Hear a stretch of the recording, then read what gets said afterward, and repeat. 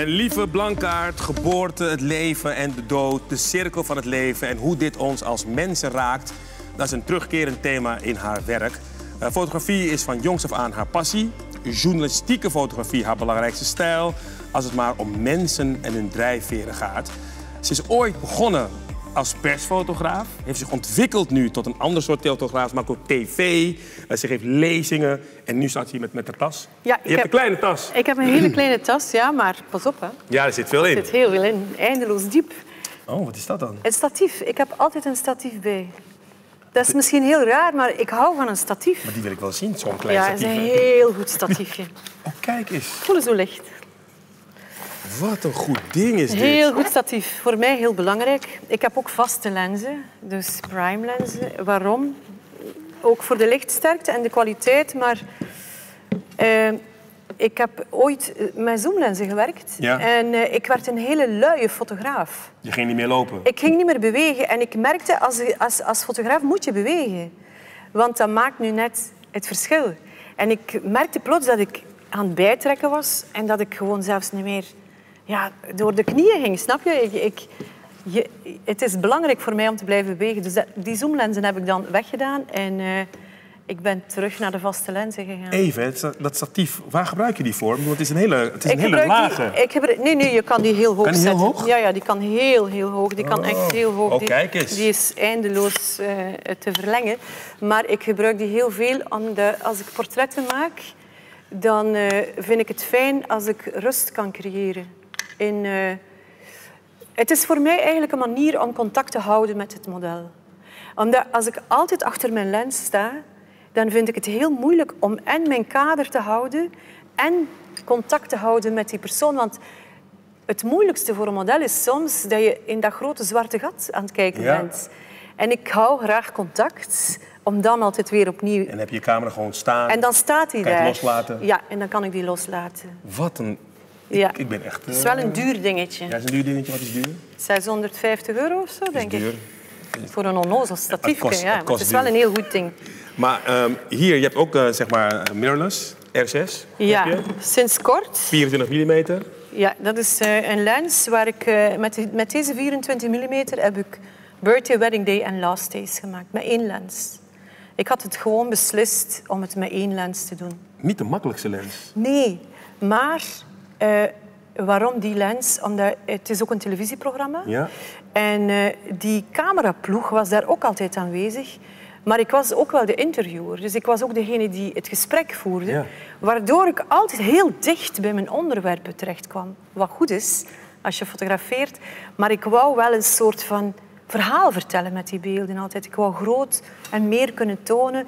En vandaar die keuze op de 24. Maar die- het is ook soms echt vloeken. En die 24 is ook een- geen fish-eye. Het is gewoon een Nee, mooie nee, dat zit er net. Precies, eh, ja. net tegenaan Ja, bijna. ik vind het een hele leuke lens om mee te werken. En wat ik ook bijzonder vind, want dat zie je misschien thuis niet zo goed. Dit is een, een lens die ook op, nog op je Ja. EOS-serie kan. Ja. Met een mount kan je ook op je digitale R-serie. Ja, ik heb daar zo'n tussenring Ja. op eh, zitten. Ja, Dus dat, dat werkt perfect. Ja. En dat, ook je kwaliteit ben je tevreden over. Prima. Kijk, lieve, ik Ja. ga je alleen laten. Je gaat eh, je verhaal Oh jee, houden. ja. Goed. Of heb je nog meer? Nee, nee, het is goed. En je hebt 35 mm hier, ook nog interessant. Ja, Kijk, 35. iedereen heeft die 85 hè, voor Die is de max. portretten. hè? Ja, die is de max. ja. Ja, deze is echt... Ik ga staan. Voor jou. Oké, daar gaan we. Zo, ik ga jullie even meenemen door eh, een beetje de geschiedenis van mijn leven de laatste eh, tien jaar. Ik heb eh, heel lang gewerkt aan een, aan een cyclus. Birthday, Wedding Day, Last Day. Birthday, hoe, wordt, hoe ontvangt deze wereld hun kinderen? En hoe worden deze kinderen hier op de wereld geboren? Wedding Day, hoe verbinden wij, met ons, wij met, ons met elkaar? En Last Days, hoe sterven wij? Hoe worden we oud op deze planeet? Eh, het begint voor mij allemaal in Congo. Daar heb ik de eerste documentaire gemaakt. Eh, de aanleiding was de moeder- en de kindersterfte daar. Vrouwen, eh, eh, de ongelijkheid tussen vrouwen, eh, de problematiek met meisjes in de wereld. Dat is echt wel mijn drijfveer. Hè. Dat is de, de reden, denk ik, soms waarom ik eh, fotografeer.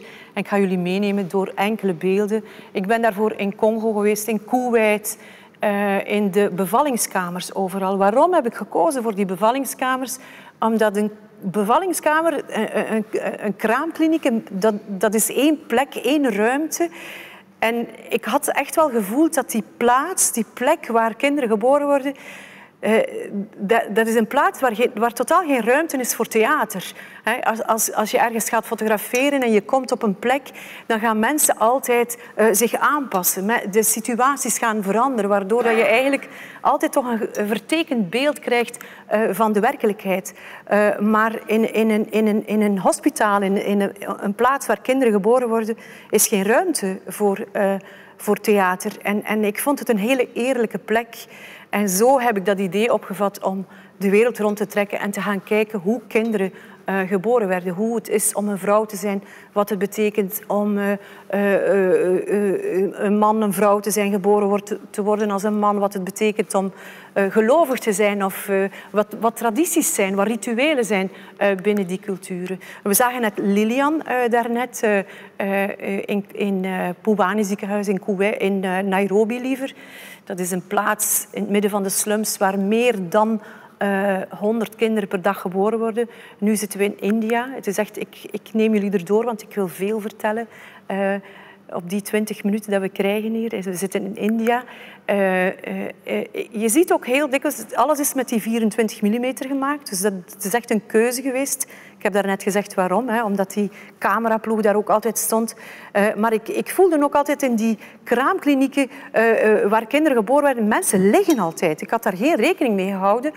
hoe moeilijk dat, dat zou zijn om die te fotograferen. En ik heb toen echt wel beslist om heel veel vanuit dat vogelperspectief te gaan fotograferen. Omdat het voor mij op die manier ook een overzicht gaf van wat er in die kamers gebeurde, hoe het er precies uitzag uh, en uh, wat het betekende. Wedding Day, want nu zijn we daar uh, toegekomen. Ik maak een hele snelle sprong. Is echt een gevolg geweest uit Birthday, want ik heb geleerd en gezien tijdens het maken van die documentaires wat het betekent bijvoorbeeld om als meisje geboren te worden op een plaats als India. En eigenlijk is het huwelijk daar direct aan verbonden. De reden waarom het zo moeilijk is om als meisje geboren te worden, heeft alles te maken eh, met de tradities van de dowry, met de bruidschat enzovoort. En toen heb ik ook de beslissing genomen om te gaan kijken van wat betekent het om u met elkaar te verbinden. En dan ben ik kindhuwelijken gaan fotograferen, zoals hier in Nepal. We zien uh, die het huis verlaat. Want als een meisje het huis verlaat bij haar huwelijk, ze is 15 jaar, dan verlaat ze het huis ook echt voor altijd. Zij zal verdwijnen uit haar gezin voor altijd. Uh, ik vond het ook heel fijn om altijd heel dicht bij de mensen te zijn. Want voor mij is het wel heel belangrijk om uh, uh, een toestemming te hebben, om er te mogen zijn. Ik kan niet fotograferen. Ik blokkeer volledig zelf als ik, als ik, niet, als, als ik het gevoel heb dat, dat ik er niet welkom ben. Dus voor mij is dat wel echt een voorwaarde om te fotograferen op soms hele ongemakkelijke momenten in mensen hun leven. We zien een, huwelijks, een groepshuwelijk in uh, Nanzichun. Dat is het laatste communistische dorp in China. We zijn nu in Zatrikamp. Zatrikamp is een kamp, een vluchtelingenkamp op de grens met Syrië, waar 80.000 vluchtelingen samenwonen. Heel bijzonder aan die plaats is dat er in kampen ontzettend veel getrouwd wordt. En ik begreep niet waar, waar het vandaan kwam. Waarom trouwen mensen als ze alles verloren hebben, als ze geen grond hebben, geen toekomst hebben. Maar in vluchtelingenkampen, als je kijkt in de cijfers van de Wereldgezondheidsorganisatie, dan, dan trouwen mensen uh, massaal daar. En dat is eigenlijk voor een heel eenvoudige reden.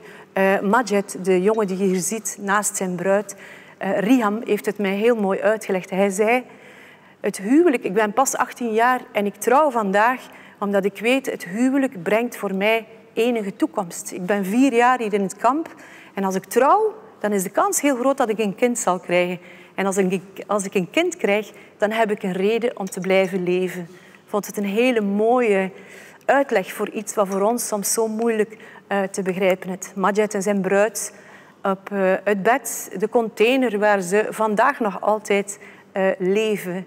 heel bijzondere momenten toch wel. Jacqueline en Ezekiel in eh, Kenia, een eh, huwelijk ook.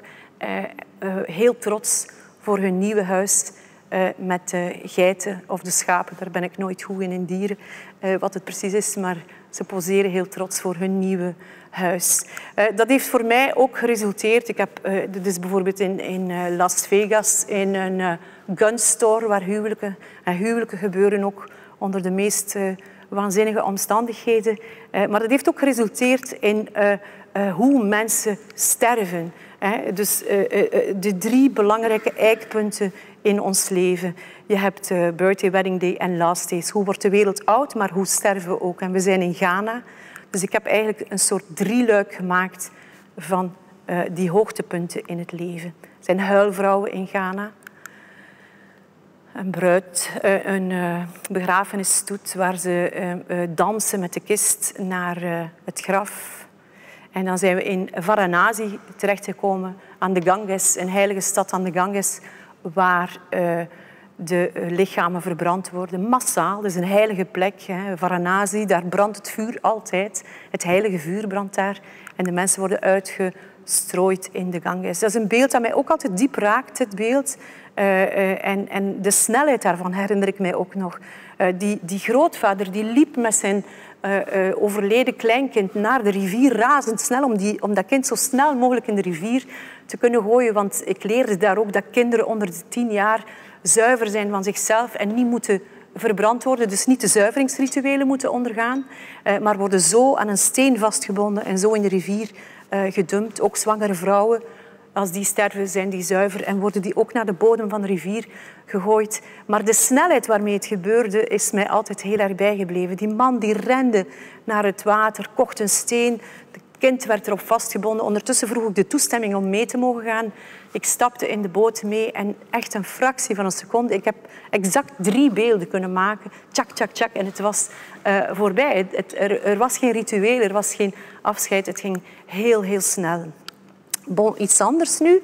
Uh, maar daarop volgend en toch wel aansluitend uh, voor mij, toen ik Last Days aan het maken was, dan voelde ik eigenlijk ook wel een soort goesting om uh, terug een beetje stiller te staan en niet zo altijd maar rond te rennen, maar portretten te maken. En ik ontmoette tijdens het maken van die reeks heel veel mooie, prachtige oude mensen, heel oude mensen, soms honderd jaar of meer. En, en ik, ik was daardoor gefascineerd, door, ook door de plooien in hun gezicht en, en hoe ze er precies uitzagen. En toen heb ik gedacht van ik ga gewoon een, een studio bouwen op straat. En ik, ik had een doek mee of een, eh, of, een, of een stuk papier en ik kleefde dat gewoon vast op de muur en ik pakte één parapluutje uh, met, een, uh, met een flits onrechtstreeks en met mijn uh, ongelooflijke 85 mm heb ik die hele reeks portretten gemaakt.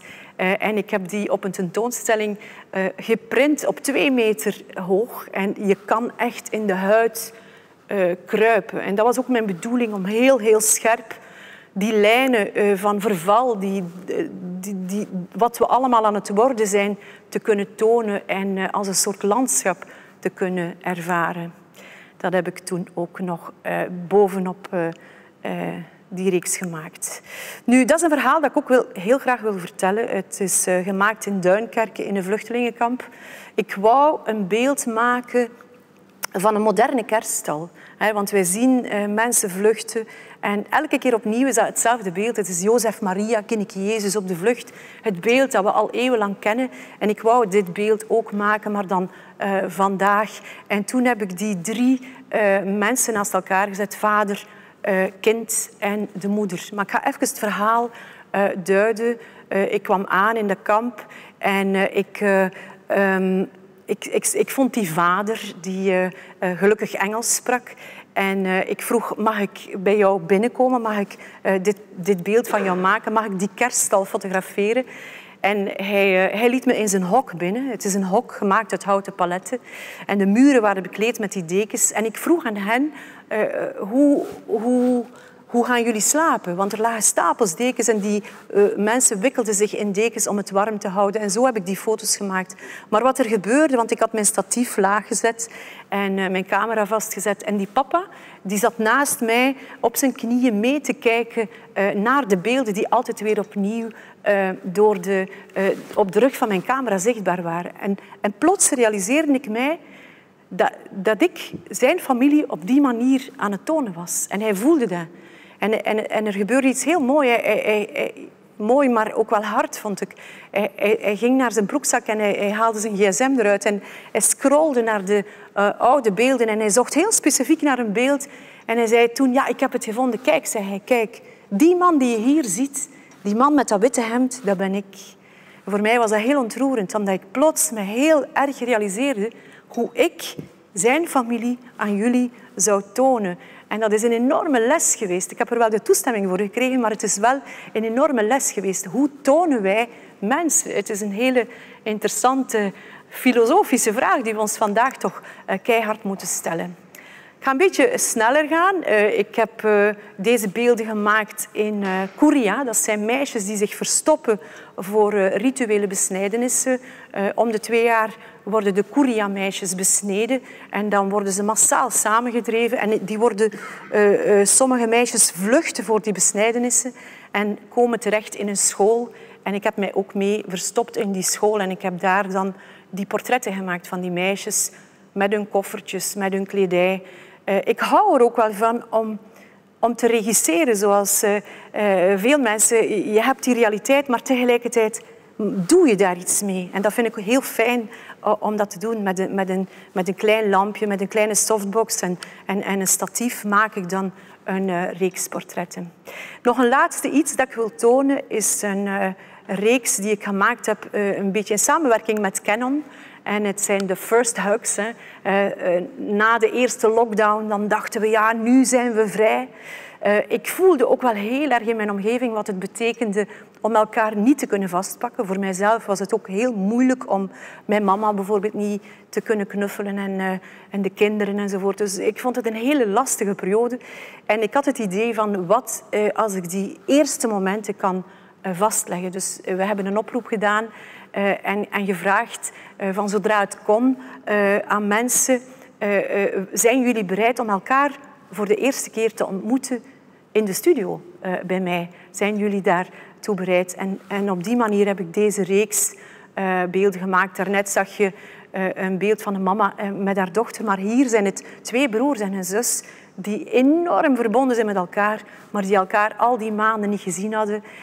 En een oma met haar kleinkind. Ik vond dat heel ontroerend, heel puur. En het is een fractie van een seconde en het is voorbij. Dank u wel.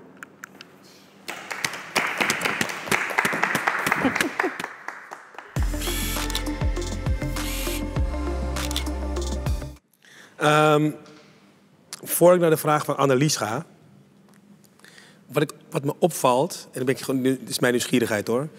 Aan de ene kant um, de mensen die daadwerkelijk voor je staan en die je portretteert. Maar bijvoorbeeld in Kenia, waar je een topshot maakt en die vrouw op het bed liggen, die heb je ook toestemming gevraagd. Ja.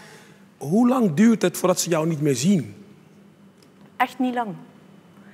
En daarom is het zo, in de rituelen, in, in die plaatsen waar bijvoorbeeld kinderen geboren worden, ja. Vergeten mensen nu meteen. Omdat ze natuurlijk daar met iets totaal anders bezig zijn en niet met mij dat is een totaal ander moment waar die mensen in zitten. Ook in het huwelijk, ook in, eh, bij de dood, bij rituelen, bij verdriet, eh, eh, ontmoetingen. Dan denken ze niet aan mij. En dat vind ik wel heel belangrijk. Dat je dus inderdaad probeert een vlieg te worden. Super moeilijk, want tegelijkertijd moeten ze weten dat je daar bent. Moet je ook de toelating vragen, want dat is voor mij echt heel belangrijk geweest. Ik had trouwens een openingszin. Het is dit, hè, ongeveer, toch? Ja, heel dicht. Erbovenop. Ja. Uh, ik heb ook uh, geholpen soms, omdat ik zo dicht stond. Hmm. Snap je? Oh. Omdat ik dacht, ja, ik moet hier wel iets aangeven, want ik sta hier gewoon ja, dicht bij het materiaal. Maar, maar ja, het, ik, ik had een openingszin. Het, is, het gaat misschien heel raar klinken, maar als ik de kans kreeg om het zelf te vragen aan die vrouwen, dan, dan lukte het eigenlijk altijd. En ik, ik zei toen eh, want wat is de grootste zorg van een vrouw die aan het bevallen is? Dat is dat je hun vagina zou fotograferen. En ik zei altijd, eh, mevrouw, maak u geen zorgen, ik ben niet geïnteresseerd in uw vagina. Waardoor dat er een soort humor was, maar dat was ook direct heel duidelijk. Dus dat was mijn eerste zin, dat was mijn openingszin. Kreeg, kreeg ook een lach daarbij. Ja, en, en eigenlijk, als ik de kans kreeg dan, om, om dat te vragen en het zelf te vragen... En het was ook altijd onder hun voorwaarden. Ik paste mij aan aan hen. En kreeg je veel voorwaarden? Soms wel, ja. Bijvoorbeeld in Kuwait uh, mocht ik pas binnen. Uh, ik mocht binnen, maar ik, mocht, ik moest achter een scherm, zoals iedereen. Weet wel? Ook de cameraploeg moest achter de deur blijven, want dat waren mannen. Dus die, en ik vond het ook heel goed dat er mannen bij waren, want je mag de mensen niet misleiden. Het waren, er zijn ook wel mannen die naar mijn programma gekeken hebben. Dus je moet niet doen alsof dat dit iets is dat alleen maar onder vrouwen zal getoond worden. Nee, nee. Laat ons maar heel eerlijk zijn. Ook mannen gaan dit zien. Ik heb een vraag van, uh, van Annelies van Berkel. Ben je wel eens in een lastige situatie terechtgekomen? Ja, toch wel, maar heel zelden. Uh, maar ik, ik, heb geen... Uh, ik heb niet zoveel angst. dus ik, ik, ik ben ik ben nogal chill wat dat Geef eens een voorbeeld dan van een lastige situatie. Ja, ik heb ooit een boek gemaakt in Afghanistan. Uh, maar in 2003, in de 2002, 2003, uh, toen was... Het is vandaag terug heel gevaarlijk in Afghanistan, ja. maar toen was het ook wel heel erg spannend. En daar heb ik echt wel met Kalashnikovs op mij gestaan maar, uh, en, en op de journalist. Dus dat, daar heb ik echt wel gevoeld zo van wat er fysiek met een mens gebeurt. Als dat gebeurt, dan krijg je instant ja, ik ga niet verder gaan, maar je, alles, alles loopt fout in je lichaam. Dus dat, dat is wel het strafste dat ik heb meegemaakt.